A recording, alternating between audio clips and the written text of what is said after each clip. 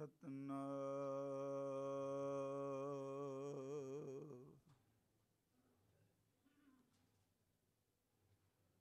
ਧੰਨ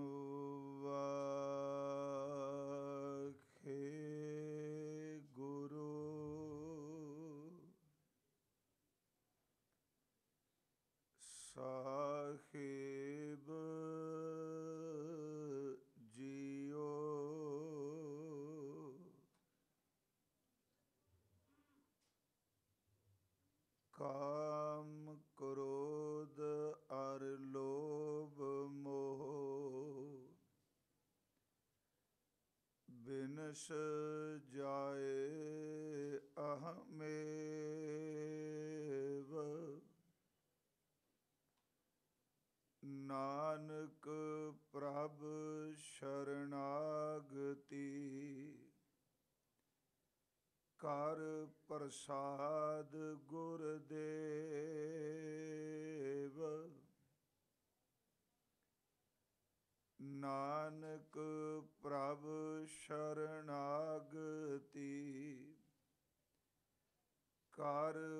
ਪ੍ਰਸਾਦ ਗੁਰਦੇਵ। ਡੰਡੋਤ ਬੰਦਨ ਅਨੇਕ ਬਾਰ ਸਰਬ ਕਲਾ ਸਮਰਥ। ਡੋਲਨ ਤੇ ਰਾਖੋ ਪ੍ਰਭੂ। ਰਾਖੋ ਪ੍ਰਭੂ।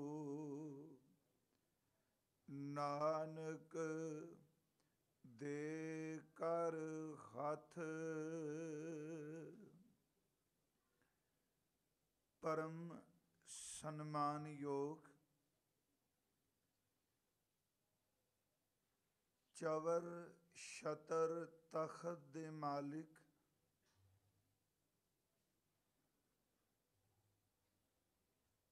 ਸਤਿਗੁਰੂ ਗੁਰੂ ਗ੍ਰੰਥ ਸਾਹਿਬ ਮਹਾਰਾਜ ਜੀ ਦੀ ਪਾਵਨ ਪਵਿੱਤਰ ਖਜ਼ੂਰੀ ਅੰਦਰ ਰਾਤਰੀ ਦੇ ਇਸ ਸਜੇ ਗੁਰਮਤ ਦੀਵਾਨ ਦੀ ਆਪ ਜੀ ਹਾਜ਼ਰੀ ਪਰ ਰਹੇ ਹੋ। ਇਸ ਅਸਥਾਨ ਦੀ ਰੋਜ਼ਾਨਾ ਦੀ ਜੋ ਗੁਰਮਰਿਆਦਾ ਹੈ, ਇਲਾਹੀ ਗੁਰਬਾਣੀ ਦਾ ਕੀਰਤਨ, ਸੋ ਦਰ ਰਹਿ ਰਾਜ ਸਾਹਿਬ ਜੀ ਦਾ ਪਾਠ, ਫਿਰ ਹਜ਼ੂਰ ਦੀ ਅੰਮ੍ਰਿਤ ਬਾਣੀ ਦਾ ਕੀਰਤਨ, ਉਸ ਰੋਜ਼ਾਨਾ ਦੇ ਨੇਮ ਅਨੁਸਾਰ ਸਨਮਾਨਯੋਗ ਭਾਈ ਸਾਹਿਬ ਸਤਿਗੁਰਾਂ ਦੇ ਅੰਮ੍ਰਿਤ ਬਚਨਾਂ ਦਾ ਰਸ ਪਿੰਨਾ ਕੀਰਤਨ ਸਰਵਨ ਕਰਾ ਰਹੇ ਸਨ। ਸਤਿਗੁਰੂ ਗੁਰੂ ਗੋਬਿੰਦ ਸਿੰਘ ਸਾਹਿਬ ਸੱਚੇ ਪਾਤਸ਼ਾਹ ਜੀ ਮਹਾਰਾਜ, ਹਜ਼ੂਰ ਦਾ ਆਗਮਨ ਪੁਰਬ। ਸਿੱਖ ਸੰਗਤਾਂ, ਬੜੀ ਪ੍ਰੇਮ ਭਾਵਨਾ ਔਰ ਸ਼ਰਧਾ ਨਾਲ ਮਨਾਉਣ ਜਾ ਰਹੀਆਂ ਨੇ। ਭਾਵਾਂ ਕਿ ਪ੍ਰਬੰਧਕ ਵੀਰਾਂ ਦਾ ਇਹ ਹੁਕਮ ਵੀ ਸੀ ਕਿ ਖਾਸ ਕਰਕੇ ਗੁਰਪੁਰਬ ਵਾਲੇ ਦਿਹਾੜੇ, ਪਰ ਉਸ ਦਿਨ ਤਖਤ ਸ੍ਰੀ ਪਟਨਾ ਸਾਹਿਬ ਵਿਖੇ ਹਾਜ਼ਰੀ ਭਰਨੀ ਹੁੰਦੀ ਹੈ। ਇਸ ਕਰਕੇ ਹਜ਼ੂਰ ਦੇ ਆਗਮਨ ਪੁਰਬ ਸੰਬੰਧੀ ਸਤਿਗੁਰੂ ਗੁਰੂ ਗੋਬਿੰਦ ਸਿੰਘ ਜੀ ਦੇ ਚਰਨ ਆਪਾਂ ਪੜ ਸਕੀਏ। ਆਪ ਜਿਤਨੇ ਗੁਰੂ ਸਵਾਰੇ ਹਾਜ਼ਰ ਹੋ, ਅੰਦਰ ਦੀ ਇਕਾਗਰਤਾ ਬਖਸ਼ਦੇ ਹੋਏ, ਆਸੀਸ ਬਖਸ਼ੋ ਧੰਨ ਸ਼੍ਰੀ ਗੁਰੂ ਗੋਬਿੰਦ ਸਿੰਘ ਸਾਹਿਬ ਸੱਚੇ ਪਾਤਸ਼ਾਹ।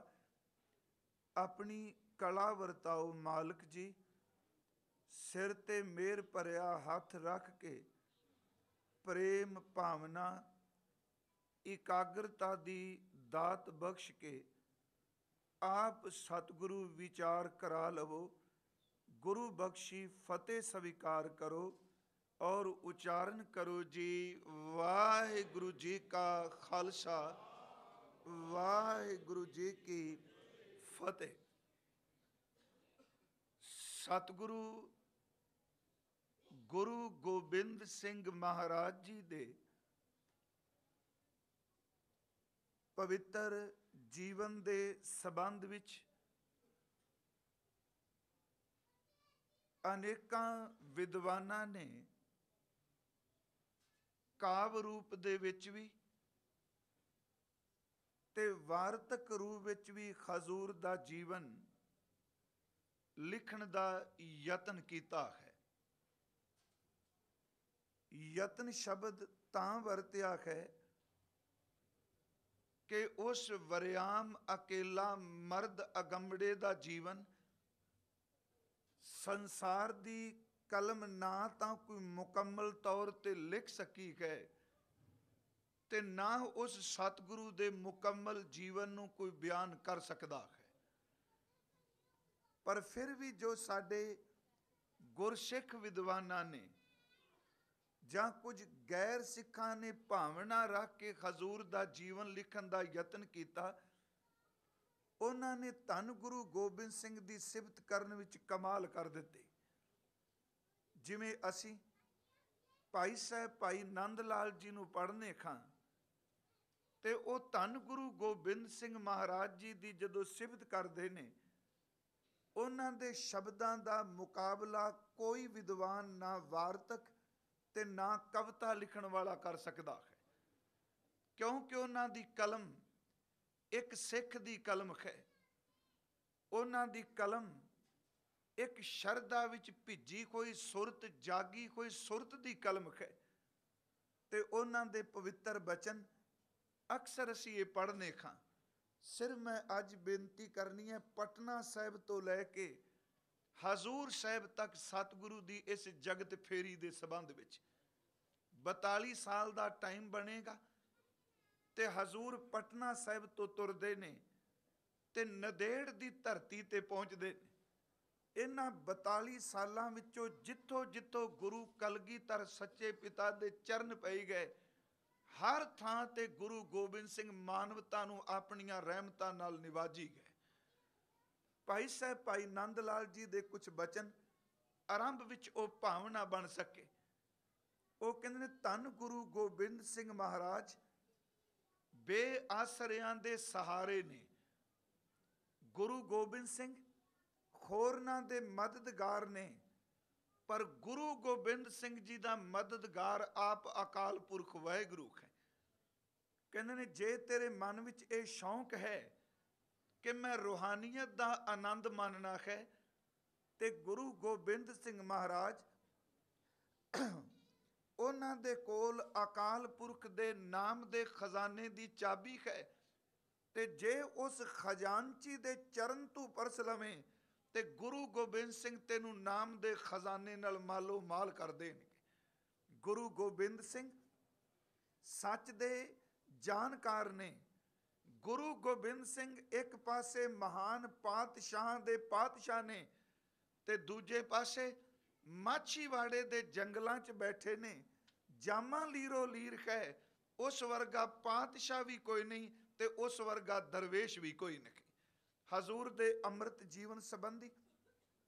ਭਾਈ ਨੰਦ ਲਾਲ ਸਾਹਿਬ ਦੀ ਰਚਨਾ ਵਿੱਚੋਂ ਤੁਹਾਨੂੰ ਸਭਨਾਂ ਨੂੰ ਇਹ ਤੁਕਾਂ ਜ਼ਬਾਨੀ ਚੇਤੇ ਬਚਨ ਹੈ ਨਾਸਰੋ ਮਨਸੂਰ ਗੁਰ ਗੋਬਿੰਦ ਸਿੰਘ। ਇਹਦਾ ਅਰਥ ਗੁਰੂ ਗੋਬਿੰਦ ਸਿੰਘ ਹੋਰਨਾਂ ਦੇ ਮਦਦਗਾਰ ਨੇ।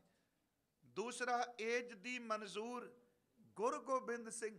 ਗੁਰੂ ਗੋਬਿੰਦ ਸਿੰਘ ਨੂੰ ਅਕਾਲ ਪੁਰਖ ਵਾਹਿਗੁਰੂ ਦੀ ਮਦਦ ਹੈ ਹਕਰਾ ਗੰਜੂਰ ਗੁਰ ਗੋਬਿੰਦ ਸਿੰਘ, ਗੁਰੂ ਗੋਬਿੰਦ ਸਿੰਘ ਮਹਾਰਾਜ ਗੰਜੂਰ ਦਾ ਅਰਥ ਹੁੰਦਾ ਹੈ ਖਜ਼ਾਨਚੀ। ਹੱਕ ਦਾ ਅਰਥ ਹੈ ਸੱਚ ਸੱਚ ਦੇ ਖਜ਼ਾਨੇ ਦੇ ਖਜ਼ਾਨਚੀ ਨੇ ਗੁਰੂ ਗੋਬਿੰਦ ਸਿੰਘ।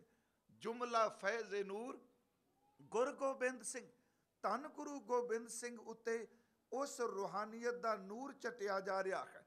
ਹੱਕ ਹੱਕ ਆਗਾ, ਗੁਰ ਗੋਬਿੰਦ ਸਿੰਘ।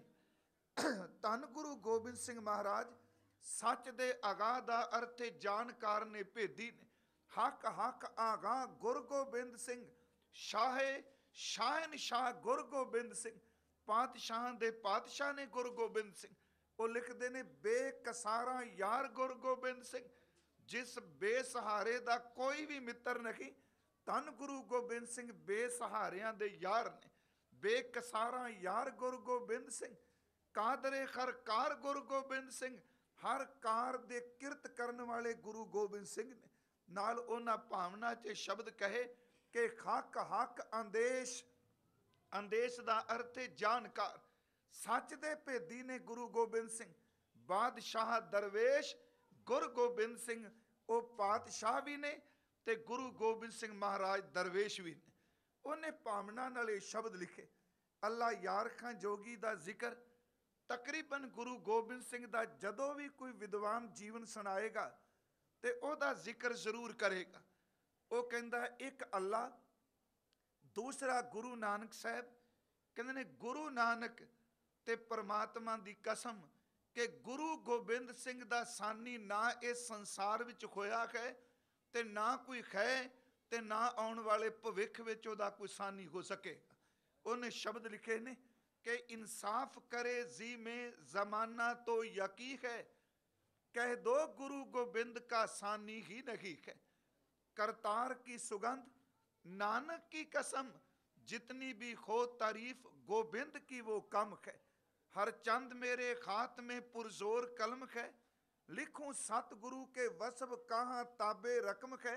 एक आँख से बुलबुला क्या कुल बहर को देखे, साहिल को देखे ਲਹਿਰ ਕੋ ਦੇਖੇ ਜਾਂ ਮੰਝ ਕੋ ਦੇਖੇ, ਪਾਣੀ ਦੇ ਬੁਲਬਲੇ ਦੀ ਇੱਕ ਅੱਖ ਹੈ ਤੇ ਧੰਨ ਗੁਰੂ ਗੋਬਿੰਦ ਸਿੰਘ ਮਹਾਰਾਜ, ਮੇਰੇ ਵਰਗਾ ਇੱਕ ਅੱਖ ਵਾਲਾ ਤੇਰੇ ਵਰਗੇ ਅਸਗਾ ਸਮੁੰਦਰ ਦਾ ਕਦੀ ਅੰਤ ਨਹੀਂ ਪਾ ਸਕਦਾ।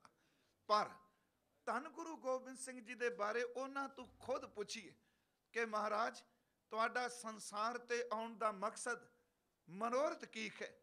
ਤੇ ਇੱਕ ਬਚਨ ਹਜ਼ੂਰ ਦੀ ਬਾਣੀ ਵਿੱਚੋਂ ਉਸ ਨੂੰ ਆਧਾਰ ਬਣਾ ਕੇ ਦਾਸ ਨੇ ਬੇਨਤੀ ਕਰਨੀ ਹੈ। ਮਹਾਰਾਜ ਕਹਿੰਦੇ ਨੇ ਕਿ ਸਾਡੀ ਸੁਰਤ ਉਸ ਅਕਾਲ ਪੁਰਖ ਵਿੱਚ ਦਿਨ ਰਾਤ ਚੁਭੀ ਹੈ। ਚਿੱਤ ਨਹੀਂ ਕਰਦਾ ਇਸ ਮ੍ਰਿਤ ਮੰਡਲ ਤੇ ਆਉਣ ਨੂੰ।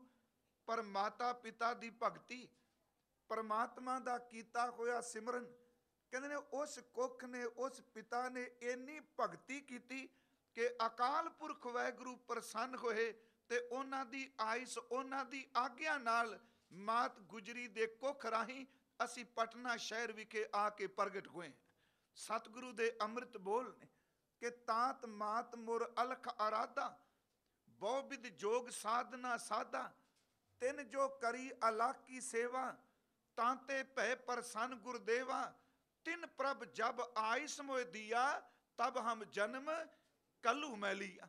ਦੇਸੇ ਸਿਰਫ ਤਾਂ ਮੈਂ ਬੇਨਤੀ ਕਰ ਲਗਾ ਹਜ਼ੂਰ ਨੇ ਦੋ ਸ਼ਬਦ ਵਰਤੇ ਨੇ ਤਾਤ ਔਰ ਮਾਤ। ਤਾਤ ਦਾ ਅਰਥ ਹੈ ਪਿਤਾ ਤੇ ਮਾਤ ਦਾ ਅਰਥ ਹੈ ਮਾਂ। ਹਜ਼ੂਰ ਫਰਮਾਉਂਦੇ ਨੇ, ਸਾਡੇ ਮਾਤਾ ਪਿਤਾ ਦੀ ਇੰਨੀ ਭਗਤੀ, ਉਹਨਾਂ ਦੀ ਕੀਤੀ ਕੋਈ ਕਮਾਈ ਦੀ ਬਦੌਲਤ ਉਸ ਅਕਾਲ ਪੁਰਖ ਨੇ ਸਾਨੂੰ ਉਸ ਗੋਦ ਵਿੱਚ, ਉਸ ਗੋਦ ਰਾਹੀਂ ਸੰਸਾਰ ਤੇ ਆਉਣ ਵਾਸਤੇ ਆਇਸ ਦਾ ਅਰਥ ਆਗਿਆ ਦਿੱਤੀ। ਇੱਥੇ ਇੱਕ ਆਪ ਜੀ ਦੀ ਬੇਨਤੀ ਹੈ ਚਰਨਾਂ 'ਚ ਧੰਨ ਗੁਰੂ ਤੇਗ ਬਹਾਦਰ ਮਹਾਰਾਜ ਜੀ ਦਾ ਆਨੰਦ ਕਾਰਜ ਵਿਵਾਹ ਸ਼ਬਦ ਵਰਤ ਲਈਏ ਕਰਤਾਰਪੁਰ ਸਾਹਿਬ ਦੀ ਧਰਤੀ ਤੇ ਹੋਇਆ ਹੈ। ਤੇ ਤਕਰੀਬਨ ਧੰਨ ਗੁਰੂ ਤੇਗ ਬਹਾਦਰ ਸਾਹਿਬ ਤੇ ਮਾਤਾ ਗੁਜਰੀ ਜੀ ਦੇ ਆਨੰਦ ਕਾਰਜ ਤੋਂ ਬਾਅਦ ਤਿੰਨ ਦਹਾਕੇ ਤੋਂ ਵੱਧ ਸਮਾਂ ਬਣਦਾ ਹੈ। 30 ਸਾਲ ਤੋਂ ਬਾਅਦ ਧੰਨ ਗੁਰੂ ਗੋਬਿੰਦ ਸਿੰਘ ਸੱਚੇ ਪਾਤਸ਼ਾਹ ਮਾਤ ਗੁਜਰੀ ਦੀ ਕੁੱਖ ਸੰਸਾਰ ਵਿੱਚ ਪ੍ਰਗਟ ਹੋਏ। 30 ਸਾਲ ਕੋਈ ਥੋੜੇ ਨਹੀਂ ਹੁੰਦੇ ਪਰ ਉਹ 30 ਸਾਲ ਕਿਸ ਹਿਸਾਬ ਨਾਲ ਬਤੀਤ ਹੋਏ?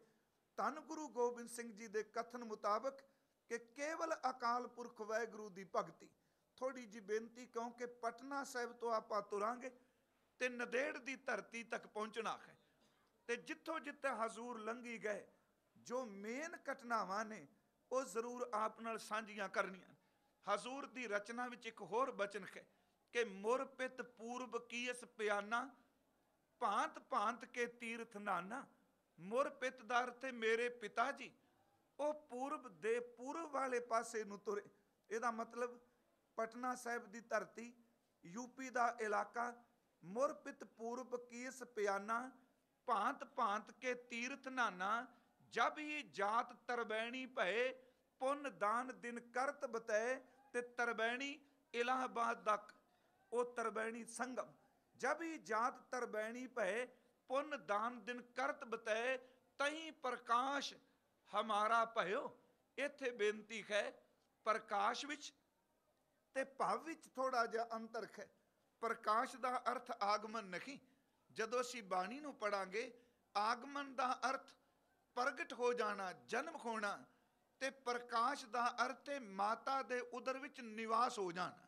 ਕਿਉਂਕਿ ਗੁਰੂ ਗ੍ਰੰਥ ਸਾਹਿਬ ਦੀ ਬਾਣੀ ਨੇ, ਗੁਰੂ ਅਰਜੁਨ ਦੇਵ ਜੀ ਨੇ, ਗੁਰੂ ਹਰਗੋਬਿੰਦ ਸਾਹਿਬ ਲਈ ਵੀ ਇੱਕ ਸ਼ਬਦ ਵਰਤਿਆ ਹੈ ਕਿ ਸਤਿਗੁਰ ਸਾਚੈ ਦੀਆ ਭੇਜ, ਚਿਰ ਜੀਵਨ ਉਪਜਿਆ ਸੰਜੋਗ, ਉਧਰੈ ਮਹਿ ਆਏ ਕੀਆ ਨਿਵਾਸ, ਇਹ ਹੈ ਪ੍ਰਕਾਸ਼, ਉਧਰੈ ਮਹਿ ਆਏ ਕੀਆ ਨਿਵਾਸ, ਮਾਤਾ ਕੈ ਮਨ ਬਹੁਤ ਵਿਗਾਸ, ਜੰਮਿਆ ਪੂਤ ਭਗਤ ਗੋਬਿੰਦ ਕਾ, ਫਿਰ ਜੰਮਿਆ ਜਿਹੜਾ ਸ਼ਬਦ ਕਹੇ ਇਹ ਪ੍ਰਗਟ ਹੈ। ਸਤਿਗੁਰੂ ਕਹਿੰਦੇ ਨੇ, ਜਬ ਹੀ ਜਾਤ ਤਰਬੈਣੀ ਪਏ, ਪੁੰਨ ਦਾਨ ਦਿਨ ਕਰਤ ਬਤੈ ਤਹੀਂ ਪ੍ਰਕਾਸ਼ ਹਮਾਰਾ ਪਇਓ ਤਰਬੈਣੀ ਵਿਖੇ ਮਾਤਾ ਉਦਰ ਵਿੱਚ ਨਿਵਾਸ ਹੋਇਆ ਹੈ ਪਟਨਾ ਸ਼ਹਿਰ ਵਿਖੇ ਭਵ ਲਿਓ ਪਟਨਾ ਸਾਹਿਬ ਦੀ ਧਰਤੀ ਤੇ ਧੰਨ ਗੁਰੂ ਗੋਬਿੰਦ ਸਿੰਘ ਮਹਾਰਾਜ ਜੀ ਦਾ ਆਗਮਨ ਹੋਇਆ ਹੈ ਸਾਡਾ ਇਤਿਹਾਸ ਦੱਸਦਾ ਹੈ ਕਿ ਗੁਰੂ ਨਾਨਕ ਸਾਹਿਬ ਦੇ ਚਰਨ ਪਟਨਾ ਸਾਹਿਬ ਦੀ ਧਰਤੀ ਤੇ ਪਏ ਨੇ। ਗੁਰੂ ਨਾਨਕ ਸਾਹਿਬ ਨੇ ਕੀਮਤੀ ਲਾਲ ਜਿਹੜਾ ਭਾਈ ਮਰਦਾਨੇ ਨੂੰ ਦਿੱਤਾ ਸੀ ਕਿ ਤੁਸੀਂ ਇਹਨੂੰ ਵੇਚ ਕੇ ਲੰਗਰ ਪ੍ਰਸ਼ਾਦੇ ਦਾ ਪ੍ਰਬੰਧ ਕਰੋ, ਉਹ ਸਾਲਸਰਾਏ ਜੋਰੀ ਸੀ, ਜਿਨੇ ਸਿਰਫ ਲਾਲ ਦੇਖਣ ਦੀ ਭੇਟਾ ਕੀ 100 ਰੁਪਈਆ ਦਿੱਤੀ ਸੀ ਤੇ ਉਹਨੇ ਕਿਹਾ, ਮਹਾਰਾਜ, ਮੇਰੇ ਘਰ ਮੁਬਾਰਕ ਚਰਨ ਪਾਓ। ਧੰਨ ਗੁਰੂ ਨਾਨਕ ਸਾਹਿਬ ਦੇ ਬਚਨ ਸਨ ਕਿ ਵਕਤ ਆਏਗਾ, ਇੱਕ ਦੋ ਦਿਨ ਨਹੀਂ, ਤੇਰੇ ਘਰ ਅੰਦਰ ਕਈ ਸਾਲ ਰਹਿ ਕੇ ਜਾਾਂਗੇ ਤੇ ਜਿੱਥੇ ਹਜ਼ੂਰ ਦਾ ਆਗਮਨ ਹੋਇਆ, ਇਹ ਅਸਲ 'ਚ ਤਖਤ ਜਿੱਤੇ ਹੈ, ਇਹ ਸਾਲ ਸਰਾਏ ਦੀ ਹਵੇਲੀ ਇਹ ਉਹਦਾ ਘਰ ਸੀ ਪਹਿਲਾਂ। ਧੰਨ ਗੁਰੂ ਗੋਬਿੰਦ ਸਿੰਘ ਮਹਾਰਾਜ, ਅਸੀਂ ਦੇਖਨੇ ਆ 1666 ਨੂੰ ਹਜ਼ੂਰ ਗੁਰੂ ਗੋਬਿੰਦ ਸਿੰਘ ਜੀ ਦਾ ਆਗਮਨ ਹੁੰਦਾ ਹੈ। ਪਟਨਾ ਸਾਹਿਬ ਦੀ ਧਰਤੀ ਤੇ, ਉਸ ਵਕਤ ਕੇਵਲ ਮਾਤਾ ਗੁਜਰੀ ਜੀ, ਮਾਤਾ ਨਾਨਕੀ ਜੀ ਤੇ ਮਾਮਾ ਕਿਰਪਾਲ ਜੀ ਨੇ। ਤੇ ਜਿਹੜੇ ਅਤ ਨਜ਼ਦੀਕ ਦੇ ਸਿੱਖ ਸਨ ਉਹਨੇ ਭਾਈ ਦਿਆਲਾ ਜੀ, ਕਿਉਂਕਿ ਹੁਕਮਨਾਮਿਆਂ 'ਚ ਮਿਲਦਾ ਹੈ, ਜਿਸ ਭਾਈ ਦਿਆਲਾ ਜੀ ਨੂੰ ਚਾਂਦਨੀ ਚੌਂਕ ਉਵਾਲਿਆ ਗਿਆ ਦੇਗ ਵਿੱਚ, ਭਾਈ ਮਨੀ ਸਿੰਘ ਦੇ ਭਰਾ ਨੇ ਉਹ ਉਹ ਪਟਨਾ ਸਾਹਿਬ ਦੀ ਧਰਤੀ ਤੇ ਮੌਜੂਦ ਸਨ। ਪਟਨਾ ਸਾਹਿਬ ਇੱਕ ਹੁਕਮਨਾਮਾ ਹੈ, ਉਹਦੇ 'ਚ ਲਿਖਿਆ ਹੈ, ਗੁਰੂ ਤੇਗ ਬਹਾਦਰ ਲਿਖਦੇ ਨੇ ਕਿ ਭਾਈ ਦਿਆਲ ਦਾਸ ਕਾ ਕਹਿਆ ਹੋਇਆ, ਗੁਰੂ ਕਾ ਕਹਿਆ ਜਾਣਨਾ। ਕਿ ਜੋ ਭਾਈ ਸਾਹਿਬ ਕਹਿਣ, ਇਹ ਸਮਝੋ ਗੁਰੂ ਕੇ ਬੋਲ ਬੋਲ ਰਹੇ ਨੇ। ਧੰਨ ਗੁਰੂ ਗੋਬਿੰਦ ਸਿੰਘ ਮਹਾਰਾਜ ਜੀ ਦਾ ਆਗਮਨ ਹੁੰਦਾ ਹੈ, ਪਰ ਗੁਰੂ ਤੇਗ ਬਹਾਦਰ ਉਸ ਵਕਤ ਘਰ ਨਹੀਂ। ਇਹ ਤਾਂ ਮੈਂ ਜ਼ਿਕਰ ਕਰ ਲੱਗਾ, ਮੈਂ ਵੀ ਗ੍ਰਿਸ਼ਤੀ ਖਾਂ, ਆਪ ਜੀ ਵੀ ਗ੍ਰਿਸ਼ਤੀ ਕੋ ਦੇਖੋ, ਇੱਕ ਗ੍ਰਿਸ਼ਤੀ ਦੇ ਘਰ ਅੰਦਰ ਵਿਆਹ ਤੋਂ ਬਾਅਦ 30 32 ਸਾਲ ਬਾਅਦ ਘਰ ਪੁੱਤਰ ਜਨਮ ਲੈ ਤੇ ਆਪ ਪਿਤਾ ਘਰ ਨਹੀਂ। ਉਹ ਸੁਣ ਕੇ ਦੂਜੇ ਦਿਨ ਵਾਪਸ ਨਹੀਂ ਆ ਗਏ ਮਖੀਨੇ ਬਾਅਦ ਵਾਪਸ ਨਹੀਂ ਆਏ। ਗੁਰੂ ਤੇਗ ਬਹਾਦਰ ਜਦੋਂ ਵਾਪਸ ਪਟਨਾ ਸਾਹਿਬ ਆਉਂਦੇ ਨੇ ਤੇ ਉਦੋਂ ਪੁੱਤਰ ਦੀ ਉਮਰ 5 ਸਾਲ ਦੇ ਕਰੀਬ ਹੋ ਚੁੱਕੀ ਹੈ। ਸਿਰ ਮੇਰੀ ਬੇਨਤੀ ਹੈ, ਤੁਸੀਂ ਧਿਆਨ ਨਾਲ ਸੁਣਿਓ ਕਿ ਗੁਰੂ ਗੋਬਿੰਦ ਸਿੰਘ ਮਹਾਰਾਜ ਜੀ ਦਾ ਸਾਨੀ ਕੋਈ ਨਹੀਂ। ਕਦੀ ਵੀ ਅਸੀਂ ਉਸ ਗੁਰਦੇਵ ਦਾ ਕਰਜ਼ ਨਹੀਂ ਉਤਾਰ ਸਕਾਂਗੇ। ਹਜ਼ੂਰ ਦਾ ਆਗਮਨ ਖੁੰਦਾ ਹੈ ਤੇ ਇਥੋਂ ਪੀਰ ਭੀਖਣ ਸ਼ਾਹ ਵਰਗੇ ਸਜਦੇ ਕਰਨ ਜਾਂਦੇ ਨੇ। ਉਸੇ ਸਮੇਂ ਦੇ ਦਰਮਿਆਨ ਪਟਨਾ ਸਾਹਿਬ ਦੀ ਉਹ ਗਲੀ ਹੈ। ਜਿਹੜੇ ਉਸ ਤਖਤ ਤੇ ਦਰਸ਼ਨ ਕਰਨ ਆਪ ਗਏ ਹੋ, ਉਸ ਗਲੀ ਦਾ ਨਾਮ ਹੀ ਹਰਮੰਦਰ ਗਲੀ ਹੈ? ਕਿਉਂ? ਕਿਉਂਕਿ ਉਸ ਗਲੀ ਵਿੱਚ ਬਾਲਾ ਪ੍ਰੀਤਮ ਜੀ ਖਿੱਦੂ ਖੁੰਡੀ ਖੇਡਦੇ ਰਹੇ ਉਸ ਗਲੀ ਨੂੰ ਅਸੀਂ ਖਰਮੰਦਰ ਗਲੀ ਕਹਿੰਨੇ ਖਾਂ ਉੱਥੇ ਪੰਡਿਤ ਸ਼ਿਵ ਦੱਤ ਦੇ ਅੰਦਰ ਨੂੰ ਤੇ ਬਖਸ਼ਾ ਕੀਤੀਆਂ। ਰਾਜਾ ਫਤਿਹ ਚੰਦ ਮੈਣੀ, ਉਹਦੀ ਰਾਣੀ ਬਿਸ਼ੰਪਰਾ ਦੇਵੀ, ਜਿਹੜੀ ਪੁੱਤਰ ਦੀ ਤਾਂਗ ਵਿੱਚ ਦਿਨ ਰਾਤ ਤੜਫਦੀ ਸੀ, ਸਤਿਗੁਰੂ ਉਹਦੀ ਗੋਦ ਵਿੱਚ ਜਾ ਕੇ ਬੈਠੇ। ਮੈਂ ਸੰਗ, ਸਿਰਫ ਸੰਖੇਪ ਜੀ ਬੇਨਤੀ ਕਰ ਰਿਹਾ ਉਸ ਦੀ ਗੋਦ ਵਿੱਚ ਬੈਠੇ ਤੇ ਉਹਨੂੰ ਮਾਂ ਕਹਿ ਕੇ ਉਹਦੇ ਦੁਨਿਆਵੀ ਪੁੱਤਰ ਦੀ ਵਾਸ਼ਨਾ ਮੁਕਾ ਦਿੱਤੀ। ਬਾਲਾ ਪ੍ਰੀਤਮ ਹੀ ਉਹਦੇ ਪੁੱਤਰ ਬਣ ਗਏ। ਜਦੋਂ ਗੁਰੂ ਤੇਗ ਬਹਾਦਰ ਪਟਨਾ ਸਾਹਿਬ ਆਏ ਤੇ ਅੱਜ ਵੀ ਉਹ ਗੁਰੂ ਕਾ ਬਾਗ ਹੈ। ਅਸਲ 'ਚ ਉਹ ਬਾਗ ਸੁੱਕਾ ਸੀ। ਉਹ ਬਾਗ ਰਹੀਮ ਬਖਸ਼ ਤੇ ਕਰੀਮ ਬਖਸ਼ ਦਾ ਸੀ। ਗੁਰੂ ਤੇਗ ਬਹਾਦਰ ਪਟਨਾ ਸਾਹਿਬ ਆਏ ਨੇ ਤੇ ਸਾਹਿਬਜ਼ਾਦਾ ਗੁਰੂ ਗੋਬਿੰਦ ਰਾਏ ਜੀ ਉਹਨਾਂ ਦੀ ਆਰਬਲਾ 5 ਕੁ ਸਾਲ ਦੇ ਕਰੀਬ ਹੋ ਗਈ ਹੈ। ਪਿਤਾ ਤੇ ਪੁੱਤਰ ਦੀ ਪਹਿਲੀ ਮਿਲਣੀ ਜੇ ਸੁੱਕੇ ਬਾਗ ਵਿੱਚ ਹੋਈ, ਸਾਡਾ ਇਤਿਹਾਸ ਕਹਿੰਦਾ ਹੈ ਕਿ ਗੁਰੂ ਗੋਬਿੰਦ ਰਾਏ ਜੀ ਨੂੰ ਪਿਤਾ ਨੇ ਚੁੱਕ ਕੇ ਸੀਨੇ ਨਾਲ ਲਾਇਆ ਤੇ ਸੁੱਕਾ ਹੋਇਆ ਬਾਗ ਵੀ ਖਰਾ ਹੋ ਗਿਆ ਸੀ। ਉਸ ਨੂੰ ਅੱਜ ਅਸੀਂ ਗੁਰੂ ਕਾ ਬਾਗ ਕਹਿੰਦੇ ਹਾਂ, ਕਿਉਂਕਿ ਸਾਡੇ ਕੋਲ ਥਾਵਾਂ ਮੌਜੂਦ ਨੇ। ਇੱਥੇ ਗੁਰੂ ਤੇਗ ਬਹਾਦਰ ਮਹਾਰਾਜ ਕੁਝ ਦਿਨ ਰਹੇ ਨੇ ਤੇ ਨਾਲ ਕਹਿ ਦਿੱਤਾ ਮਾਤ ਗੁਜਰੀ ਜੀ ਨੂੰ, ਮਾਤਾ ਨਾਨਕੀ ਜੀ ਨੂੰ ਕਿ ਤੁਸੀਂ ਇੱਥੇ ਕੁਝ ਸਮਾਂ ਹੋਰ ਰੁਕੋ, ਅਸੀਂ ਪੰਜਾਬ ਦੀ ਧਰਤੀ ਤੇ ਪਹੁੰਚਾਂਗੇ ਤੇ ਜਦੋਂ ਅਸੀਂ ਸੰਦੇਸ਼ ਭੇਜੀਏ, ਉਦੋਂ ਸਾਹਿਬਜ਼ਾਦਾ ਜੀ ਨੂੰ ਲੈ ਕੇ ਤੁਸੀਂ ਪਟਨਾ ਸਾਹਿਬ ਤੋਂ ਪੰਜਾਬ ਆ ਜਾਣ। ਇੱਥੋਂ ਹਜ਼ੂਰ, ਆਪ ਪੰਜਾਬ ਦੀ ਧਰਤੀ ਤੇ ਆ ਗਏ ਕੁਝ ਸਮਾਂ ਉੱਥੇ ਰੁਕੇ। ਸਾਹਿਬਜ਼ਾਦਾ ਗੁਰੂ ਗੋਬਿੰਦ ਰਾਏ ਵਾਰ-ਵਾਰ ਦਾਦੀ ਔਰ ਮਾਂ ਨੂੰ ਕਹਿੰਦੇ ਨੇ ਕਿ ਕਦੋਂ ਅਸੀਂ ਪੰਜਾਬ ਦੀ ਧਰਤੀ ਤੇ ਜਾਾਂਗੇ ਅਖੀਰ ਗੁਰੂ ਤੇਗ ਬਹਾਦਰ ਦਾ ਸੁਨੇਹਾ ਆਇਆ। ਪੰਜ ਸਾਲ ਦੇ ਕਰੀਬ ਮਹਾਰਾਜ ਪਟਨਾ ਸਾਹਿਬ ਰਹੇ ਨੇ। ਜਿਸ ਦਿਨ ਗੁਰਦੇਵ ਨੇ ਪਟਨਾ ਸਾਹਿਬ ਨੂੰ ਛੱਡਿਆ, ਉਸ ਦਿਨ ਸੰਗਤਾਂ ਦਾ ਬੈਰਾਗ ਥੰਮਿਆ ਨਹੀਂ ਸੀ ਜਾ ਰਿਹਾ। ਪੰਡਿਤ ਸ਼ਿਵਦੱਤ ਬਜ਼ੁਰਗ, ਜਿਹਦੇ ਮਹਾਰਾਜ ਰੋਜ਼ ਮੋਢਿਆਂ ਤੇ ਚੜਦੇ ਸਨ, ਉਹਨੇ ਕਿਹਾ, ਬਾਲਾ ਪ੍ਰੀਤਮ, ਰੋਜ਼ ਤੁਹਾਡੀ ਛੂਹ ਮਿਲਦੀ ਸੀ। ਅੱਜ ਕੌਣ ਮੈਨੂੰ ਪੰਡਿਤ ਜੀ ਕਹਿ ਕੇ ਆਵਾਜ਼ ਮਾਰੇਗਾ? ਸਤਿਗੁਰੂ ਕਹਿਣ ਲੱਗੇ ਪੰਡਿਤ ਜੀ ਤੁਸੀਂ ਰੋਜ਼ ਭਾਵਨਾ ਨਾਲ ਬੈਠੇ ਹੋ ਧਿਆਨ ਵਿੱਚ ਮੈਂ ਤੁਹਾਡੇ ਕੋਲ ਖੋਵਾਂਗਾ। ਰਾਜਾ ਫਤਿਹ ਚੰਦ ਮੈਣੀ ਉਹਦੀ ਰਾਣੀ ਜਿਨ੍ਹਾਂ ਨੂੰ ਮਾਂ ਕਿਹਾ ਉਹਦੀ ਹਾਲਤ ਬੜੀ ਤਰਸਯੋਗ ਸੀ। ਕਹਿਣ ਲੱਗੀ ਤੁਸੀਂ ਮੈਨੂੰ ਮਾਂ ਕਿਹਾ ਹੁਣ ਤੁਸੀਂ ਮੈਨੂੰ ਛੱਡ ਕੇ ਚੱਲੇ ਹੋ। ਉੱਥੇ ਮਹਾਰਾਜ ਜੀ ਨੇ ਇੱਕ ਰੁੱਖ ਲਾਇਆ ਜਿਹਨੂੰ ਆਪਾਂ ਕਰੋਨ ਦਾ ਰੁੱਖ ਕਹਿੰਦੇ ਹਾਂ, ਉਹ ਅੱਜ ਵੀ ਮੌਜੂਦ ਹੈ। ਕਹਿਣ ਲੱਗੇ, ਮਾਂ, ਆਪਣੇ ਖੱਤੀ ਬੂਟਾ ਲਾ ਚੱਲਿਆ 12 ਮਹੀਨੇ ਦੇ ਉੱਤੇ ਕਦੀ ਪੱਤ ਚੜਨੀ ਆਏਗੀ। ਉਹ ਕਰੋਨ ਦਾ ਪੇਡਾ ਅਜੇ ਵੀ ਬਾਲ ਲੀਲਾ ਵਿੱਚ ਲੱਗਾ ਹੋਇਆ ਹੈ।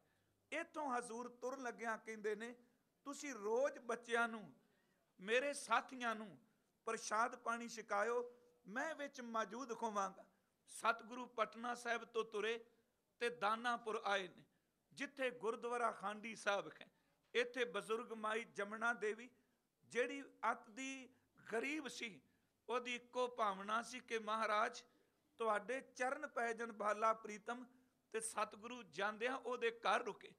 ਮਨ ਚ ਆਇਆ ਇੰਨੀ ਸੰਗਤ ਤੇ ਖਾਂਡੀ ਵਿੱਚ ਖਿਚੜੀ ਉਹਨੇ ਪਕਾਈ ਹੈ। ਸਤਿਗੁਰੂ ਨੇ ਕਿਹਾ, ਤੂੰ ਉਦਾਸ ਨਾ ਹੋ, ਖਾਂਡੀ ਸਾਨੂੰ ਪਕੜਾ, ਅਸੀਂ ਵਰਤਾਵਾਂਗੇ, ਇਹਦੇ ਵਿੱਚ ਟੋਟਾ ਕਦੀ ਵੀ ਨਹੀਂ ਆਏਗਾ। ਉੱਥੇ ਗੁਰਦੁਆਰਾ ਖਾਂਡੀ ਸਾਹਿਬ ਹੈ। ਪਟਨਾ ਸਾਹਿਬ ਤੋਂ ਲੈ ਕੇ ਕੀਰਤਪੁਰ ਸਾਹਿਬ ਦੀ ਧਰਤੀ ਤੱਕ ਆਉਂਦਿਆਂ ਮਹਾਰਾਜ ਜੀ ਨੂੰ ਤਕਰੀਬਨ 1 ਸਾਲ ਲੱਗਦਾ ਹੈ। ਸਨ 1672 ਚੜ ਜਾਂਦਾ ਹੈ। ਹਜ਼ੂਰ ਸੱਚੇ ਪਾਤਸ਼ਾਹ ਕੀਰਤਪੁਰ ਨੂੰ ਲੰਘ ਕੇ ਜਦੋਂ ਚੱਕ ਨਾਨਕੀ ਆਉਂਦੇ ਨੇ, ਕਿਉਂਕਿ ਉਦੋਂ ਆਨੰਦਪੁਰ ਸਾਹਿਬ ਨਾਮ ਨਹੀਂ ਪਹਿਲਾਂ ਮਾਖੋਵਾਲ ਸੀ। ਗੁਰਦੇਵ ਨੇ ਜ਼ਮੀਨ ਖਰੀਦ ਕੇ ਇਹ ਨਗਰ ਵਸਾਇਆ। ਗੁਰੂ ਤੇਗ ਬਹਾਦਰ ਜੀ ਨੇ ਆਪਣੀ ਮਾਤਾ ਜੀ ਦੇ ਨਾਮ ਤੇ ਰੱਖਿਆ ਚੱਕ ਨਾਨਕੀ। ਤੇ ਜਦੋਂ ਹਜ਼ੂਰ ਚੱਕ ਨਾਨਕੀ ਆ ਰਹੇ ਨੇ, ਗੁਰੂ ਤੇਗ ਬਹਾਦਰ ਅੱਗੋਂ ਪਰਿਵਾਰ ਨੂੰ ਲੈਣ ਗਏ ਤੇ ਗੁਰੂ ਗੋਬਿੰਦ ਰਾਏ ਜੀ ਨੇ ਮੱਥਾ ਟੇਕ ਕੇ ਇਹ ਪਵਿੱਤਰ ਤੁਕਾਂ ਪੜੀਆਂ ਕਿ ਆਨੰਦ ਭਇਆ ਮੇਰੀ ਮਾਏ ਸਤ ਗੁਰੂ ਮੈਂ ਪਾਇਆ ਤੇ ਹਜ਼ੂਰ ਗੁਰੂ ਤੇਗ ਬਹਾਦਰ ਨੇ ਕਿਹਾ, ਪੁੱਤ, ਅੱਜ ਤੋਂ ਬਾਅਦ ਇਸ ਨਗਰ ਦਾ ਨਾਮ ਹੀ ਆਨੰਦਪੁਰ ਸਾਹਿਬ ਹੈ। ਇੱਥੇ ਹਜ਼ੂਰ 1672 ਲੰਘ ਪੂਰਾ ਹੋ ਚੁੱਕਾ ਹੈ। ਇੱਥੇ ਸਤਿਗੁਰੂ 1672 ਤੋਂ ਲੈ ਕੇ ਸਨ 1675 ਤੱਕ ਤਿੰਨ ਕ ਸਾਢੇ ਤਿੰਨ ਸਾਲ ਸਿਰਫ ਆਪਣੇ ਪਿਤਾ ਦੀ ਗੋਦ ਮਾਣੀ ਹੈ। ਕਿਉਂਕਿ 11 ਨਵੰਬਰ ਸਨ 1675 ਨੂੰ ਗੁਰੂ ਤੇਗ ਬਹਾਦਰ ਸ਼ਹਾਦਤ ਦਾ ਜਾਮ ਪੀ ਜਾਂਦੇ ਨੇ। ਧੰਨ ਗੁਰੂ ਗੋਬਿੰਦ ਸਿੰਘ ਮਹਾਰਾਜ ਆਪਣੀ ਸਵੈ ਜੀਵਨੀ ਵਿੱਚ ਇਹ ਲਿਖਦੇ ਨੇ ਕਿ ਸਤਿਗੁਰੂ ਗੁਰੂ ਤੇਗ ਬਹਾਦਰ ਸਾਹਿਬ ਜੀ ਬਾਰੇ ਕਹਿਣ ਲੱਗੇ, ਮਦਰ ਦੇਸ਼ ਹਮ ਕੋ ਲੈ ਆਏ ਮਦਰ ਦੇਸ਼ ਦਾ ਅਰਥ ਹੈ ਉਹ ਧਰਤੀ ਕਿ ਜਿਹਦਾ ਪਾਣੀ ਮਿੱਠਾ, ਜਿਹਦੀ ਜ਼ਮੀਨ ਮਿੱਠੀ, ਜਿਹਦੀ ਤਸੀਰ ਮਿੱਠੀ ਪੰਜਾਬ ਦੀ ਧਰਤੀ ਤੇ ਸਾਨੂੰ ਲੈ ਕੇ ਆਏ। ਮਦਰ ਦੇਸ਼ ਹਮ ਲੈ ਆਏ, ਭਾਂਤ ਭਾਂਤ ਦਈਨ ਦੁਲਲਾਏ ਕਿੰਨੀ ਅਨਕ ਭਾਂਤ ਤਨ ਰਛਾ, ਦੀਨੀ ਭਾਂਤ ਭਾਂਤ ਕੀ ਛਿਛਾ, ਕਹਿਣ ਲੱਗੇ, ਜਬ ਹਮ ਕਰਮ ਧਰਮ ਹੋ ਆਏ, ਦੇਵ ਲੋਕ ਤਾਂ ਪਿਤਾ ਸਿਧਾਏ। ਜਦੋਂ 9 ਸਾਲ ਦੀ ਆਰਬਲਾ ਹੋਈ ਹੈ ਤੇ ਗੁਰੂ ਤੇਗ ਬਹਾਦਰ ਮਹਾਰਾਜ ਸ਼ਹਾਦਤ ਦਾ ਜਾਮ ਪੀ ਜਾਂਦੇ ਨੇ। ਇੱਥੇ ਥੋੜੀ ਜੀ ਅਰਜ਼ ਕਰਨੀ ਜ਼ਰੂਰੀ ਹੈ ਕਿ ਗੁਰਮਖੋ, ਸਿਰਫ 9 ਸਾਲਾਂ ਵਿੱਚੋਂ ਜੇ ਗਿਣਤੀ ਮਿੰਤੀ ਕਰੀਏ, ਸਾਢੇ ਕੁ ਤਿੰਨ ਸਾਲ ਕੁੱਲ ਬਣ ਗਏ ਕਿ ਗੁਰੂ ਗੋਬਿੰਦ ਰਾਏ ਨੇ ਆਪਣੇ ਪਿਤਾ ਦਾ ਪਿਆਰ ਮਾਣਿਆ ਹੈ। ਇਸ ਤੋਂ ਜ਼ਿਆਦਾ ਸਮਾਂ ਨਹੀਂ ਸਾਨੂੰ ਮਿਲੇਗਾ। ਸਤਿਗੁਰੂ, ਗੁਰੂ ਤੇਗ ਬਹਾਦਰ ਜੀ ਨੂੰ ਆਪ ਹਜ਼ੂਰ ਕਹਿੰਦੇ ਨੇ ਪਿਤਾ ਜੀ ਕਿ ਤੁਹਾਡੇ ਤੋਂ ਬਿਨਾ ਇਹਨਾਂ ਦੀ ਬਾਹ ਪਕੜਨ ਵਾਲਾ ਕੋਈ ਨਹੀਂ। ਅੱਜ ਵੀ ਉਹ ਥਾਂ ਹੈ ਜਿੱਥੇ ਇਹ ਦੁਖੀ ਪੰਡਤ, ਦੁਖੀ ਵਿਪਰ ਇਹਨਾਂ ਆ ਕੇ ਫਰਿਆਦ ਕੀਤੀ। ਸਿਰਫ ਥੋੜਾ ਜਿਹਾ ਇਹ ਚੈਪਟਰ, ਕਿਉਂਕਿ ਹਜ਼ੂਰ ਦੇ ਜੀਵਨ ਦਾ ਇੱਕ ਬੜਾ ਵੱਡਾ ਹਿੱਸਾ ਹੈ ਕਿ ਪਿਤਾ ਜੀ ਦੀ ਸ਼ਹਾਦਤ ਤੇ ਸ਼ਹਾਦਤ ਤੋਂ ਬਾਅਦ ਇੱਕ ਵੱਡਾ ਉੱਠਿਆ ਇਨਕਲਾਬ। ਧੰਨ ਗੁਰੂ ਤੇਗ ਬਹਾਦਰ ਦੇ ਚਰਨਾਂ 'ਚ ਬੇਨਤੀ ਕੀਤੀ। ਉਹਨਾਂ ਦੇ ਸ਼ਬਦ ਸਨ ਕਿ ਦਿਕ ਦੁਖੀ ਬਿਪਰ ਚੱਲ ਆਏ ਪੁਰੀ ਆਨੰਦ, ਬਾਹ ਅਸਾਡੀ ਪਕੜੀਏ ਸ਼੍ਰੀ ਹਰਗੋਬਿੰਦ ਕੇ ਨੰਦ। ਇਹਦਾ ਮਤਲਬ ਗੁਰੂ ਹਰਗੋਬਿੰਦ ਸਾਹਿਬ ਦੇ ਪੁੱਤਰ, ਗੁਰੂ ਤੇਗ ਬਹਾਦਰ, ਅਸੀਂ ਦੁਖੀ ਤੇਰੇ ਦਰ ਤੇ ਆਏ ਹਾਂ ਸਾਡੇ ਡਿੱਗਿਆ ਹੋਇਆਂ ਦੀ ਤੁਸੀਂ ਬਾਹ ਪਕੜ ਲਵੋ। ਇਹਦਾ ਉੱਤਰ ਭੱਟ ਚਾਂਦ ਨੇ ਬੜਾ ਸੋਹਣਾ ਦਿੱਤਾ ਹੈ। ਇਹ ਬਾਣੀ ਦੀਆਂ ਤੁਕਾਂ ਨਹੀਂ। ਉਹ ਅਸੀਂ ਅਕਸਰ ਸੁਣਨੇ ਆ ਕਿ ਚਿਤ ਚਰਨ ਕਮਲ ਕਾ ਆਸਰਾ, ਚਿਤ ਚਰਨ ਕਮਲ ਸੰਗ ਜੋੜੀਐ ਮਨ ਲੋਚੈ ਬੁਰਿਆਈਆਂ, ਗੁਰ ਸ਼ਬਦੀ ਇਹ ਮਨ ਖੋੜੀਐ, ਬਾਹ ਜਿਨ੍ਹਾਂ ਦੀ ਪਕੜੀਐ, ਸਿਰ ਦੀਜੈ, ਬਾਹ ਨਾ ਛੋੜੀਐ, ਤੇਗ ਬਹਾਦਰ ਬੋਲਿਆ ਧਰ ਪਈਐ, ਧਰਮ ਨਾ ਛੋੜੀਐ। ਗੁਰੂ ਤੇਗ ਬਹਾਦਰ ਮਹਾਰਾਜ ਆਨੰਦਪੁਰ ਸਾਹਿਬ ਦੀ ਧਰਤੀ ਨੂੰ ਜਦੋਂ ਛੱਡ ਕੇ ਜਾਂਦੇ ਨੇ ਤੇ ਸਾਰਾ ਪਰਿਵਾਰ ਵਿਦਿਆ ਕਰਨ ਵਾਸਤੇ ਜਾਂਦਾ ਹੈ। ਤਨ ਗੁਰੂ ਗੋਬਿੰਦ ਰਾਏ, ਸਨਮਾਨਯੋਗ ਮਾਤਾ ਗੁਜਰੀ ਜੀ, ਮਾਤਾ ਨਾਨਕੀ ਜੀ ਸ਼ਰਧਾਲੂ ਸਿੱਖ ਜਿਹੜੇ ਨੇ, ਸਤਿਗੁਰੂ ਆਨੰਦਪੁਰ ਸਾਹਿਬ ਤੋਂ ਵਿਦਿਆ ਖੁੰਦੇ ਨੇ। 11 ਨਵੰਬਰ 1675 ਨੂੰ ਮਹਾਰਾਜ ਜੀ ਦੀ ਸ਼ਹਾਦਤ ਹੁੰਦੀ ਹੈ। 10 ਨਵੰਬਰ 1675 ਨੂੰ ਤਿੰਨ ਸਿੱਖ ਸ਼ਹੀਦ ਕੀਤੇ ਜਾਂਦੇ ਨੇ ਇੱਕ ਦਿਨ ਪਹਿਲਾਂ। ਭਾਈ ਮਤੀ ਦਾਸ, ਭਾਈ ਸਤੀ ਦਾਸ, ਭਾਈ ਦਇਆਲਾ ਜੀ, ਤਿੰਨਾਂ ਦੇ ਬਾਰੇ ਆਪ ਜਾਣਦੇ ਹੋ। ਆਰੇ ਨਾਲ ਚੀਰ ਕੇ, ਰੂਹ ਵਿੱਚ ਲਪੇਟ ਕੇ, ਉਬਲਦੇ ਕੋਈ ਦੇਗ ਉਬਲਦਾ ਹੋਇਆ ਪਾਣੀ ਉਹਦੇ ਵਿੱਚ ਬਿਠਾ ਕੇ ਸ਼ਹੀਦ ਕੀਤਾ ਜਾਂਦਾ ਹੈ। 11 ਨਵੰਬਰ 1675 ਨੂੰ ਦੁਪਹਿਰੇ ਜਿੱਥੇ ਗੁਰਦੁਆਰਾ ਸ਼ੀਸ਼ਗੰਜ ਸਾਹਿਬ ਹੈ, ਇੱਥੇ ਗੁਰੂ ਤੇਗ ਬਹਾਦਰ ਮਹਾਰਾਜ ਜੀ ਨੂੰ ਸ਼ਹੀਦ ਕਰ ਲਈ ਉਹਨਾਂ ਦਾ ਸਿਰ ਕਲਮ ਕਰਨ ਵਾਸਤੇ ਸਮਾਣੇ ਦਾ ਜਲਾਲ, ਜਲਾਦ ਜਲਾਲੂਦੀਨ ਆਉਂਦਾ ਹੈ। ਇਹ ਵੀ ਆਪ ਜੀ ਨੂੰ ਪਤਾ ਹੋਣਾ ਹੈ ਕਿ ਗੁਰੂ ਤੇਗ ਬਹਾਦਰ ਜੀ ਨੂੰ ਸ਼ਹੀਦ ਕਰਨ ਵਾਲਾ ਜਲਾਦ ਵੀ ਸਮਾਣੇ ਦਾ ਸੀ ਤੇ ਗੁਰੂ ਗੋਬਿੰਦ ਸਿੰਘ ਦੇ ਛੋਟੇ ਸਾਹਿਬਜ਼ਾਦੇ ਬਾਬਾ ਜ਼ੋਰਾਵਰ ਸਿੰਘ, ਬਾਬਾ ਫਤਿਹ ਸਿੰਘ, ਉਹਨਾਂ ਨੂੰ ਸ਼ਹੀਦ ਕਰਨ ਵਾਲੇ ਵੀ ਸਮਾਣੇ ਦੇ ਜਲਾਦ ਸ਼ਾਸ਼ਲ ਬੇਗ ਤੇ ਵਾਸ਼ਲ ਬੇਗ ਸਨ। ਸਤਿਗੁਰੂ ਗੁਰੂ ਤੇਗ ਬਹਾਦਰ ਮਹਾਰਾਜ ਜੀ ਦੀ ਸ਼ਹਾਦਤ ਹੁੰਦੀ ਹੈ। ਭਾਈ ਜੈਤਾ, ਖਿੰਦ ਦੀ ਚਾਦਰ ਦਾ ਸੀਸ ਆਪਣੀ ਚਾਦਰ ਵਿੱਚ ਲਪੇਟ ਕੇ ਤੁਰਦਾ ਹੈ। ਤੇ ਮੈਂ ਕਈ ਵਾਰੀ ਸੋਚਣਾ ਦੇਖੋ ਹੈ ਇਹ ਇਤਿਹਾਸ ਦੀ ਇੱਕ ਸਾਖੀ ਪੱਖ। ਅੱਗੇ ਮੈਂ ਬੇਨਤੀ ਕਰਨੀ ਹੈ ਹਜ਼ੂਰ ਦੀ ਬਾਣੀ ਵਿੱਚੋਂ ਇਹ ਕਹਿਣਾ ਬਹੁਤ ਸੌਖਾ ਹੈ। ਪਿਛਲੇ ਤੋਂ ਸ਼ਾਇਦ ਪਿਛਲੇ ਸਾਲ ਵੀ ਇੱਥੇ ਅਰਜ਼ ਕੀਤੀ ਸੀ, ਭਾਈ ਜੈਤਾ ਜੀ ਦੇ ਸਫ਼ਰ ਬਾਰੇ। ਅਸੀਂ ਕਹਿੰਦੇ ਆ ਭਾਈ ਜੈਤਾ ਜੀ ਚਾਂਦਨੀ ਚੌਂਕ ਤੋਂ ਤੁਰੇ ਤੇ ਆਨੰਦਪੁਰ ਸਾਹਿਬ ਪਹੁੰਚ ਗਏ। ਪੰਜਾਂ ਮਿੰਟਾਂ ਦੀ ਕਥਾ 'ਚ ਨਹੀਂ ਪਹੁੰਚ ਗਏ ਗੁਰਮਖੋ, ਉਸ ਸਿੱਖ ਦੀ ਕਮਾਈ ਨੂੰ ਵੀ ਨਮਸਕਾਰ ਹੈ ਜਦੋਂ ਹਜ਼ੂਰ ਨੂੰ ਸ਼ਹੀਦ ਕੀਤਾ ਜਾ ਰਿਹਾ ਹੈ, ਉਸ ਵਕਤ ਜੈਤੇ ਨੇ ਆਪਣੇ ਅੰਦਰ ਨੂੰ ਕਿੰਨਾ ਜਰਿਆ ਹੋਵੇਗਾ? ਆਖਰ ਇੱਕ ਸਿੱਖ ਹੈ ਕਿ ਉਹਦੀਆਂ ਅੱਖਾਂ 'ਚ ਪਾਣੀ ਨਹੀਂ ਆਇਆ ਹੋਵੇਗਾ? ਕਿ ਉਹਦਾ ਅੰਦਰ ਪਿਘਲਿਆ ਨਹੀਂ ਹੋਵੇਗਾ। ਉਹਨੂੰ ਪਤਾ ਹੈ ਕਿ ਜੇਕਰ ਮੈਂ ਇਸ ਵਕਤ ਅੱਖਾਂ 'ਚੋਂ ਇੱਕ ਬੂੰਦ ਵੀ ਡਿੱਗੀ ਤੇ ਉਹ ਸੇਵਾ ਨਹੀਂ ਕਰ ਸਕਾਂਗਾ ਜੋ ਆਨੰਦਪੁਰ ਜਾ ਕੇ ਕਰਨੀ ਹੈ। ਉਹਨੇ ਸੀਸ ਚੁੱਕਿਆ। 11 ਨਵੰਬਰ ਦੀ ਰਾਤ ਨੂੰ ਉਹ ਤੁਰਦਾ ਹੈ। 12 ਨਵੰਬਰ ਨੂੰ ਉਹ ਬਾਗਪਤ ਪਹੁੰਚਦਾ ਹੈ। 13 ਨਵੰਬਰ 12 ਨਵੰਬਰ ਸਵੇਰੇ ਚੱਲਦਾ ਹੈ ਤੇ ਤਰਾਵੜੀ ਪਹੁੰਚਦਾ ਹੈ। ਤਰਾਵੜੀ ਤੋਂ ਬਾਅਦ ਉਹ ਅੰਬਾਲੇ ਪਹੁੰਚਦਾ ਹੈ। ਅੰਬਾਲੇ ਤੋਂ ਬਾਅਦ ਉਹ ਨਾਭਾ ਸਾਹਿਬ ਪਹੁੰਚਦਾ ਹੈ। ਨਾਭਾ ਸਾਹਿਬ ਤੋਂ ਬਾਅਦ ਉਹ ਕੀਰਤਪੁਰ ਸਾਹਿਬ ਪਹੁੰਚਦਾ ਹੈ ਤੇ ਕੀਰਤਪੁਰ ਸਾਹਿਬ ਤੋਂ ਸੀਸ ਪਾਲਕੀ ਵਿੱਚ ਆਨੰਦਪੁਰ ਸਾਹਿਬ ਪਹੁੰਚਦਾ ਹੈ ਤੇ ਜਿੱਥੇ ਗੁਰਦੁਆਰਾ ਸ਼ੀਸ਼ਗੰਜ ਹੈ, ਇੱਥੇ ਧੰਨ ਗੁਰੂ ਗੋਬਿੰਦ ਰਾਏ ਆਪਣੇ ਪਿਤਾ ਦੇ ਸੀਸ ਦਾ ਸੰਸਕਾਰ ਕਰਦੇ ਇੱਥੇ ਅਰਜ਼ਦਾਸ ਨੇ ਚਾਂਦਨੀ ਚੌਕ ਵੀ ਕੀਤੀ ਸੀ। ਗੁਰਮਖੋ, ਗੁਰੂ ਨੇ ਸ਼ੀਸ਼ਗੰਜ ਬਣਾਏ ਤੇ ਸਿੱਖਾਂ ਨੇ ਸ਼ਹੀਦਗੰਜ ਬਣਾ ਦਿੱਤੇ। ਤੁਸੀਂ ਦੇਖੋ ਜਿੱਥੇ ਗੁਰੂ ਤੇਗ ਬਹਾਦਰ ਦੇ ਸੀਸ ਦਾ ਸਬਰ ਮਿਲੇਗਾ, ਉਹਨਾਂ ਥਾਵਾਂ ਦਾ ਨਾਮ ਸ਼ੀਸ਼ਗੰਜ ਹੋਵੇਗਾ ਤੇ ਜਿੱਥੇ ਸਿੱਖਾਂ ਨੇ ਸ਼ਹਾਦਤ ਦਾ ਜਾਮ ਪੀਤਾ ਹੋਵੇਗਾ, ਉਹਦਾ ਨਾਮ ਸ਼ਹੀਦਗੰਜ ਹੋਵੇਗਾ। ਅਸੀਂ ਅੰਮ੍ਰਿਤਸਰ ਬਾਬਾ ਦੀਪ ਸਿੰਘ ਜੀ ਦੇ ਸਥਾਨ ਨੂੰ ਸ਼ਹੀਦਗੰਜ ਕਹਿੰਦੇ ਲਾਹੌਰ ਦੀ ਧਰਤੀ ਤੇ ਜਿੱਥੇ ਸਿੰਘਣੀਆਂ ਪੁਚੰਗੀ ਸਿੰਘ ਸ਼ਹੀਦ ਕੀਤੇ ਗਏ, ਉਹਦਾ ਨਾਮ ਵੀ ਸ਼ਹੀਦਗੰਜ ਹੈ। ਗੁਰੂ ਤੇਗ ਬਹਾਦਰ ਸਾਹਿਬ ਮਹਾਰਾਜ ਜੀ ਦਾ ਸੀਸ ਤੁਰਿਆ ਤੇ ਉਸ ਦਿਨ ਚਾਂਦਨੀ ਚੌਂਕ ਮੈਂ ਸੀਸਗੰਜ ਬੇਨਤੀ ਕੀਤੀ। ਉਹਨੇ ਇੱਕ ਸੀਸ ਨੂੰ ਉਤਾਰਨਾ ਚਾਹਿਆ, ਪਰ ਉਹਨੂੰ ਪਤਾ ਹੀ ਨਾ ਕਿ ਜਿੱਥੇ ਗੁਰੂ ਤੇਗ ਬਹਾਦਰ ਦੇ ਸੀਸ ਦੇ ਖੂਨ ਦੇ ਤੁਪਕੇ ਵੀ ਡਿੱਗੇ, ਉਹਨਾਂ ਥਾਵਾਂ ਉੱਤੇ ਸਿੱਖਾਂ ਨੇ ਸੀਸ ਗੰਜ ਬਣਾ ਦਿੱਤੇ। ਸਤਿਗੁਰੂ, ਗੁਰੂ ਤੇਗ ਬਹਾਦਰ ਜੀ ਦੇ ਸੀਸ ਦਾ ਸੰਸਕਾਰ ਹੋ ਰਿਹਾ।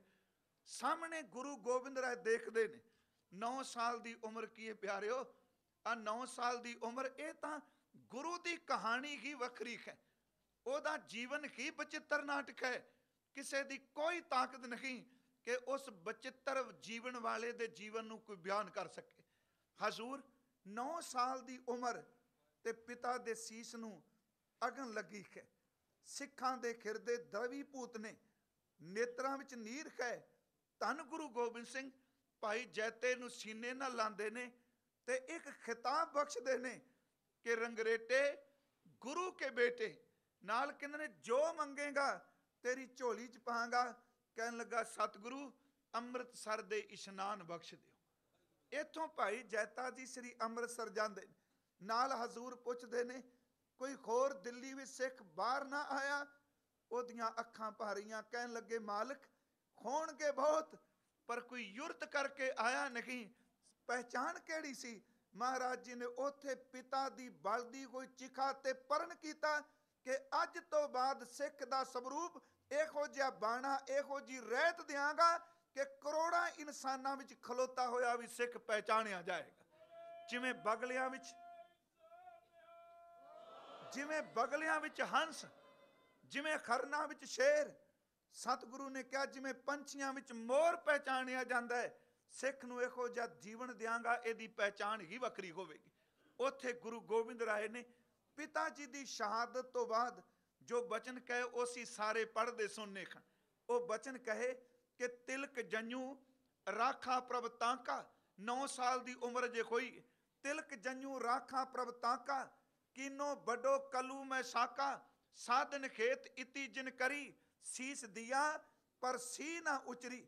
ਧਰਮ ਖੇਤ ਸਾਕਾ ਜਿਨ ਕੀਆ, ਸੀਸ ਦਿਆ, ਪਰ ਸਿਰ ਨ ਦਿਆ, ਨਾਟਕ ਚੇਟਕ ਕੀਏ ਕੁਕਾਜਾ ਪ੍ਰਭ ਲੋਗਨ ਕੈ ਆਵਤ ਲਾਜਾ, ਅਗਲੀ ਤੁਕ ਧਿਆਨ ਨਾਲ ਪੜਨ ਵਾਲੀ ਠੀਕ ਕਰ ਫੋਰ, ਦਲੀਸ ਸਿਰ। ਦਲੀਸ ਦਾ ਅਰਥ ਹੈ ਦਿੱਲੀ ਦਾ ਮਾਲਕ, ਤੇ ਸਿਰ ਦਾ ਅਰਥ ਆਪਾਂ ਸਮਝਨੇ।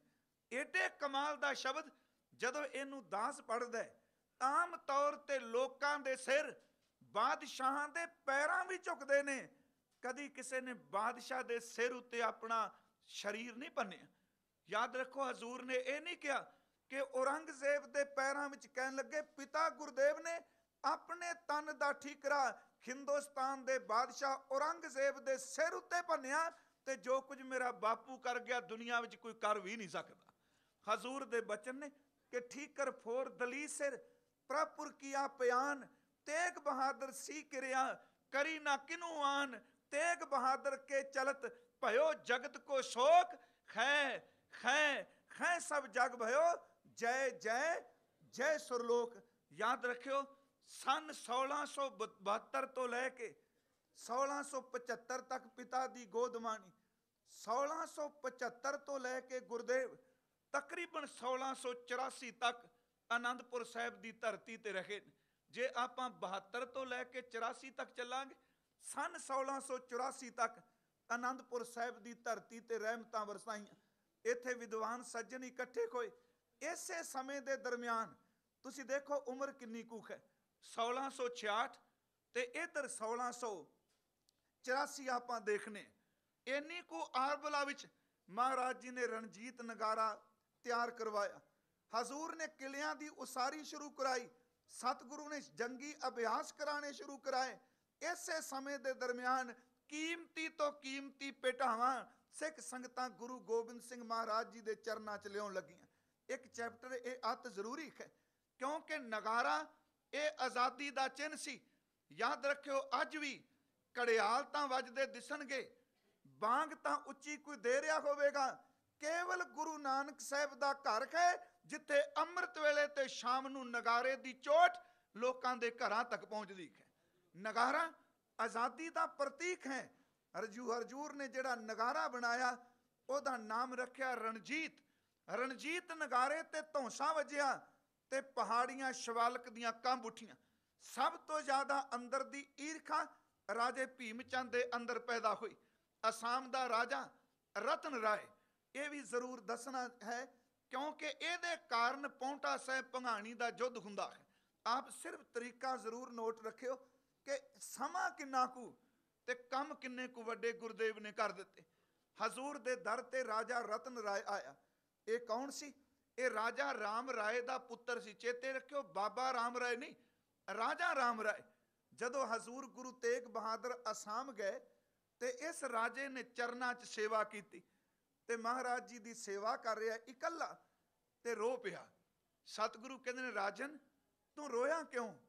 ਕਹਿਣ ਲੱਗਾ, ਪ੍ਰਮਾਤਮਾ ਨੇ ਹਰ ਚੀਜ਼ ਮੈਨੂੰ ਦਿੱਤੀ, ਰਾਜ, ਭਾਗ, ਸੁਖ ਦਿੱਤਾ, ਪਰ ਘਰ ਸੰਤਾਨ ਨਹੀਂ। ਮਹਾਰਾਜ ਜੀ ਦੇ ਕੋਲ ਮੋਰ ਸੀ, ਗੁਰੂ ਤੇਗ ਬਹਾਦਰ ਜੀ ਕੋਲ। ਇੱਕੋ ਦਮ ਉਹਦੇ ਤਨ ਤੇ ਲਾ ਕੇ ਕਹਿਣ ਲੱਗੇ, ਤੇਰੇ ਘਰ ਵਿੱਚ ਗੁਰੂ ਨਾਨਕ ਦਾ ਸਿੱਖ ਆਵੇਗਾ, ਉਹਦੇ ਮੱਥੇ ਦੇ ਉੱਤੇ ਸਾਡੀ ਇਹ ਨਿਸ਼ਾਨੀ ਹੋਵੇਗੀ। ਉਹਦੇ ਘਰ ਫਿਰ ਰਤਨ ਰਾਏ ਪੈਦਾ ਹੋਇਆ। ਰਤਨ ਰਾਏ ਜਦੋਂ 10 ਕੁ ਸਾਲ ਦਾ ਹੋਇਆ, ਇੱਕ ਦਿਨ ਇਹ ਕੇਸ ਵਾਰਿਆ ਸੀ। ਤੇ ਮਹਾਰਾਜ ਜੀ ਨੇ ਕਿਹਾ, ਸਾਡਾ ਸਿੱਖ ਆਵੇਗਾ, ਉਹਦੇ ਕੇਸ ਨਹੀਂ ਕੱਟਨੇ ਇਹ ਨਿਸ਼ਾਨੀ ਹੋਵੇਗੀ ਉਹਦੇ ਮੱਥੇ ਤੇ। ਇਹ ਕੇਸ ਵਾਂਦਾ ਪਿਆ ਤੇ ਇੰਜ ਲੱਗਾ ਕੇਸਾਂ ਤੋਂ ਥੱਲੇ ਤੇ ਮੱਥੇ ਤੋਂ ਉੱਤੇ ਇੱਕ ਚਿੰਨ੍ਹ ਹੈ ਇੱਕ ਓੰਕਾਰ ਦੀ ਨਿਸ਼ਾਨੀ ਬਣੀ ਸੀ। ਮਾਂ ਕੋਲ ਆਇਆ ਮਾਂ, ਮੈਨੂੰ ਕਦੀ ਸੱਟ ਤਾਂ ਨਹੀਂ ਵੱਜੀ? ਉਹਨੇ ਰਾਣੀ ਨੇ ਕਿਹਾ, ਪੁੱਤ, ਨਾ, ਕਦੀ ਨਹੀਂ। ਉਹਨੇ ਆਪਣੀ ਪੱਗ ਚੁੱਕ ਕੇ ਕਿਹਾ, ਕਹਿੰਦਾ, ਇਹ ਦਾ ਕਾਦਾ ਕਹਿਣ ਲੱਗੀ, ਪੋਤੇ, ਦਾਗ ਨਹੀਂ, ਇਹ ਬਖਸ਼ਿਸ਼ ਦੀ ਨਿਸ਼ਾਨੀ ਹੈ। ਇਹ ਦਾਗ ਨਹੀਂ, ਇਹ ਗੁਰੂ ਤੇਗ ਬਹਾਦਰ ਦੀ ਬਖਸ਼ਿਸ਼ ਹੈ। ਫਿਰ ਦੱਸਿਆ, ਜਦੋਂ ਤੇਰਾ ਜਨਮ ਨਹੀਂ ਸੀ ਆ ਕੁਝ ਗੁਰੂ ਤੇਗ ਬਹਾਦਰ ਦੇ ਕੇ ਗਏ ਤੇ ਉਹਨੇ ਕਿਹਾ, ਮਾਂ, ਫਿਰ ਮੈਨੂੰ ਗੁਰੂ ਤੇਗ ਬਹਾਦਰ ਕੋ ਲੈ ਜਾਓ। ਕਹਿਣ ਲੱਗੇ, ਉਹ ਸ਼ਹਾਦਤ ਦਾ ਜਾਮ ਪੀ ਗਏ। ਉਹਨਾਂ ਦੀ ਥਾਂ ਤੇ ਉਹਨਾਂ ਦੇ ਪੁੱਤਰ ਗੁਰੂ ਗੋਬਿੰਦ ਰਾਏ ਨੇ। ਕਹਿਣ ਲੱਗਾ, ਮੈਨੂੰ ਸਤਿਗੁਰੂ ਕੋਲ ਲੈ ਜਾਓ। ਗੁਰਮਖੋ ਉਹਨੇ ਪੰਜ ਕੀਮਤੀ ਘੋੜੇ ਗੁਰਦੇਵ ਵਾਸਤੇ ਲਏ। ਉਹਨੇ ਇੱਕ ਹਾਥੀ ਗੁਰਦੇਵ ਵਾਸਤੇ ਲਿਆ। ਕਹੇ, ਮਾਂ ਨੇ ਕਿਹਾ, ਤੇਰੀ ਉਮਰ ਦੇ ਨੇ ਸਤਿਗੁਰੂ।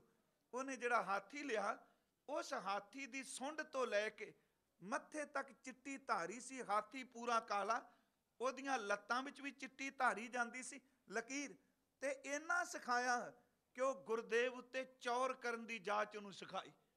ਮਹਾਰਾਜ ਜੀ ਦੇ ਚਰਨ ਸੁੰਡ ਵਿੱਚ ਪਾਣੀ ਭਰ ਕੇ ਧੋਂਦਾ ਤੇ ਸੁੰਡ 'ਚ ਕੱਪੜਾ ਲੈ ਕੇ ਮਹਾਰਾਜ ਜੀ ਦੇ ਚਰਨ ਪੂੰਝਣ ਦੀ ਉਹਨੂੰ ਜਾਚ ਸਿਖਾਈ।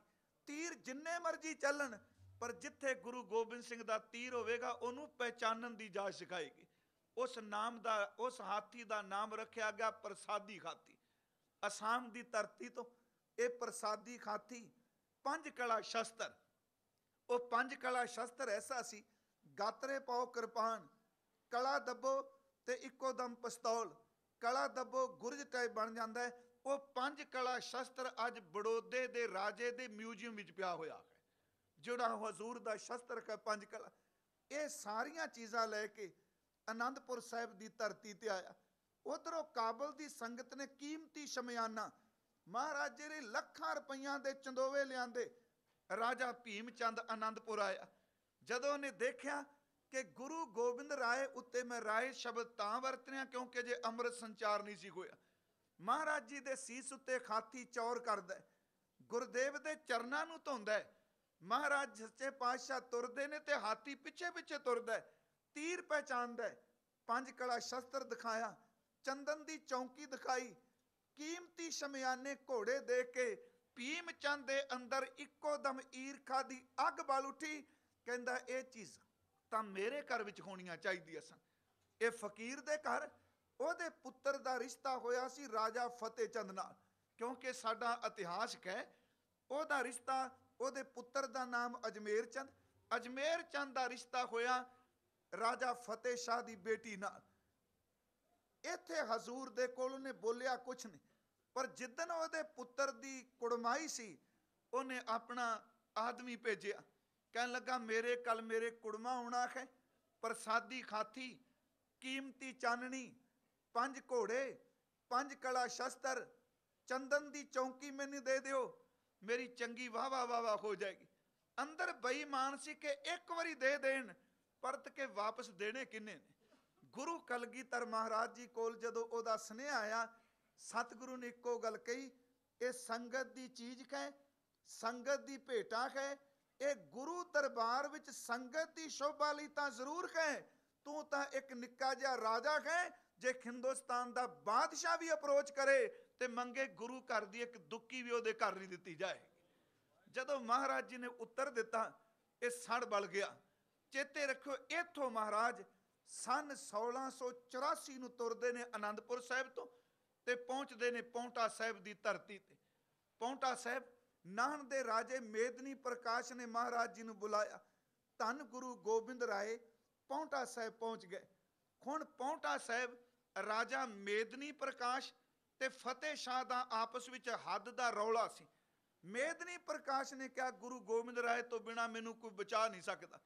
ਰਾਜਾ ਫਤਿਹ ਸ਼ਾਹ ਜਿਹਦੇ ਘਰ ਵਿੱਚ ਭੀਮ ਚੰਦ ਦਾ ਪੁੱਤਰ ਮੰਗਿਆ ਹੈ ਉਹ ਧੰਨ ਗੁਰੂ ਗੋਬਿੰਦ ਸਿੰਘ ਦੇ ਚਰਨਾਂ ਦਾ ਸੇਵਕ ਬਣ ਗਿਆ। ਧਿਆਨ ਦਿਆ ਜੀ। ਇੱਥੇ ਮਹਾਰਾਜ ਪੌਂਟਾ ਸਾਹਿਬ ਜਦੋਂ ਪਹੁੰਚੇ ਤੇ ਵਿਆਹ ਦਾ ਦਿਨ ਆ ਗਿਆ। ਭੀਮ ਚੰਦ ਦੇ ਪੁੱਤਰ ਨੇ ਢੁਕਣਾ ਹੈ ਉਹ ਵਿਰੋਧੀ ਹੈ ਤੇ ਫਤਿਹ ਸ਼ਾਹ ਦੀ ਬੇਟੀ ਨੂੰ ਵਿਆਹਣਾ ਹੈ ਤੇ ਫਤਿਹ ਸ਼ਾਹ ਗੁਰੂ ਦੇ ਚਰਨਾਂ ਦਾ ਸੇਵਕ ਹੈ। ਭੀਮ ਚੰਦ ਨੇ ਗੱਲ ਕਹੀ, ਕਹਿੰਦਾ ਪਹਾੜੀ ਰਾਜਿਆਂ ਤੇ ਰਾਜਪੂਤਾਂ ਨੂੰ, ਕਹਿੰਦਾ ਇਹਨੇ ਨਾ ਹਾਥੀ ਦਿੱਤੇ, ਨਾ ਘੋੜੇ ਦਿੱਤੇ, ਨਾ ਪੰਜ ਕਲਾ ਸ਼ਸਤਰ ਦਿੱਤਾ।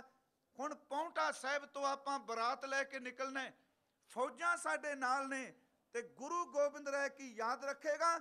ਮੈਂ ਪੌਂਟਾ ਸਾਹਿਬ ਨੂੰ ਜਾਂਦਿਆਂ ਤਬਾਹ ਕਰਕੇ ਜਾਂ ਪੌਂਟਾ ਸਾਹਿਬ ਉਜਾੜ ਦਿੱਤਾ ਜਾਏਗਾ ਕਿਉਂਕਿ ਘਾਟ ਇੱਕੋ ਸੀ। ਪਾਰ ਕਰਨ ਵਾਸਤੇ ਯਮਨਾ।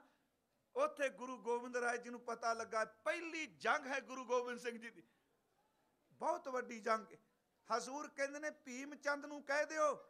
ਤੂੰ ਕਹਿੰਦਾ, ਪੌਂਟਾ ਸਾਹਿਬ ਉਜਾੜ ਕੇ ਰੱਖ ਦਿੱਤਾ ਜਾਏਗਾ, ਜੇ ਤੇਰੇ ਵਿੱਚ ਯੁਰਤ ਹੈ ਤੇ ਇੱਕ ਵਾਰੀ ਪੌਂਟਾ ਸਾਹਿਬ ਦੀ ਧਰਤੀ ਤੇ ਤੂੰ ਪੈਰ ਰੱਖ ਕੇ ਦਿਖਾ।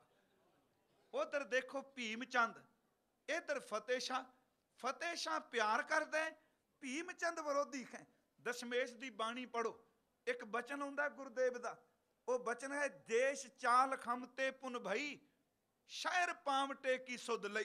ਤਿੰਨ ਸਾਲ ਗੁਰਦੇਵ ਪੌਂਟਾ ਸਾਹਿਬ ਰਹੇ ਦੇਸ਼ ਚਾਲ ਖਮ ਤੇ ਪੁਨ ਭਈ, ਸ਼ਹਿਰ ਪਾਵਟੇ ਕੀ ਸੁਧ ਲਈ। ਕਲੰਦਰੀ ਤਟ ਕਰੇ ਬਿਲਾਸਾ, ਕਲੰਦਰੀ ਦਾ ਅਰਥ ਯਮਨਾ ਦਾ ਕੰਢਾ। ਕਲੰਦਰੀ ਤਟ ਕਰੇ ਬਿਲਾਸਾ, ਅਨਕ ਭਾਂਤ ਕੇ ਪੇਕ ਤਮਾਸ਼ਾ, ਤੈਂ ਕੈ ਸਿੰਘ ਘਨੇ ਚੁਨ ਮਾਰੇ। ਮਹਾਰਾਜ ਕਹਿੰਦੇ ਨੇ ਸ਼ੇਰਾਂ ਦਾ ਸ਼ਿਕਾਰ ਉੱਤੇ ਖੇਡਿਆ। ਤੈਂ ਕੈ ਸਿੰਘ ਘਨੇ ਚੁਨ ਮਾਰੇ, ਰੋਜ ਰੀਸ਼ ਬਹੁ ਭਾਂਤ ਬਿਦਾਰੇ। ਫਤਿਹ ਸ਼ਾਹ ਕੌਪਾ ਤਬ ਰਾਜਾ ਲੋ ਪੜਾ ਹਮਸਿਓ ਬਿਨ ਕਾਜਾ। ਕਹਿੰਦੇ ਨੇ, ਫਤਿਹ ਸ਼ਾਹ ਨਾਲ ਸਾਡਾ ਕੋਈ ਵੈਰ ਵੀ ਨਹੀਂ। ਕਹਿੰਦੇ ਨੇ, ਅਸੀਂ ਤਾਂ ਪਿਆਰ ਕਰਦੇ ਸਾਂ ਉਹ ਬਿਨਾ ਮਤਲਬ ਤੋਂ ਸਾਡੇ ਨਾਲ ਗੁੱਸੇ ਹੋ ਗਿਆ। ਫਤਿਹ ਸ਼ਾਹ ਕੌਪਾ ਤਬ ਰਾਜਾ, ਲੋ ਪੜਾ ਹਮ ਬਿਨ ਕਾਜਾ, ਇੱਥੇ ਇੱਕ ਬੇਨਤੀ ਮੈਂ ਰੋਕ ਕੇ ਕਰਨੀ ਹੈ, ਜਿਹੜੀ ਜਾਪ ਸਾਹਿਬ ਦੀ ਬਾਣੀ ਆਪ ਰੋਜ਼ ਪੜ੍ਹਦੇ ਹੋ, ਇਹ ਹਜ਼ੂਰ ਨੇ ਪੌਂਟਾ ਸਾਹਿਬ ਦੀ ਧਰਤੀ ਤੇ ਉਚਾਰਨ ਕੀਤੀ ਜਿਹੜੀ ਅਕਾਲ ਉਸਤਤ ਦੀ ਬਾਣੀ ਆਪ ਪੜ੍ਹਦੇ ਦੇਖੋ ਇਹ ਹਜ਼ੂਰ ਨੇ ਪੌਂਟਾ ਸਾਹਿਬ ਦੀ ਧਰਤੀ ਤੇ ਉਚਾਰਨ ਕੀਤੀ ਹੈ। ਉੱਥੇ ਹਜ਼ੂਰ ਨੇ ਕਵੀਆਂ ਨੂੰ ਸਨਮਾਨ ਦਿੱਤੇ ਸੱਚ ਇਹ ਵੇ ਕਿ ਰੌਲਾ ਪਾਉਂਦੀ ਕੋਈ ਯਮਨਾ ਵੀ ਜਿੱਥੇ ਗੁਰੂ ਗੋਬਿੰਦ ਸਿੰਘ ਦਾ ਦਰਬਾਰ ਲੱਗਦਾ ਸੀ, ਉੱਥੇ ਤਾਂ ਯਮਨਾ ਦਾ ਪਾਣੀ ਵੀ ਸ਼ਾਂਤ ਹੋ ਗਿਆ। ਧੰਨ ਗੁਰੂ ਗੋਬਿੰਦ ਸਿੰਘ ਮਹਾਰਾਜ ਜੀ ਦੀ। ਇੱਕ ਘਟਨਾ ਮੈਂ ਆਪ ਨੂੰ ਸੁਣਾ ਦੇਣਾ ਹਜ਼ੂਰ ਦੀ ਰਚਨਾ ਵਿੱਚੋਂ ਹੈ ਬਾਣੀ ਵਿੱਚੋਂ ਹੈ ਧੰਨ ਗੁਰੂ ਗੋਬਿੰਦ ਸਿੰਘ ਮਹਾਰਾਜ ਬੈਠੇ ਨੇ ਤੇ ਬਾਣੀ ਉਚਾਰ ਰਹੇ ਨੇ। ਭਾਈ ਸਾਹਿਬ, ਭਾਈ ਮਨੀ ਸਿੰਘ ਬਾਣੀ ਲਿਖਦੇ ਪਏ ਨੇ। ਧੰਨ ਗੁਰੂ ਗੋਬਿੰਦ ਰਾਏ ਮਹਾਰਾਜ ਉਹਨਾਂ ਨੇ ਸ਼ੁਰੂਆਤ ਕੀਤੀ ਉਸ ਅਕਾਲ ਪੁਰਖ ਦੀ ਸਿਫਤ ਵਿੱਚ, ਉਹਦੀ ਉਸਤਤ ਵਿੱਚ।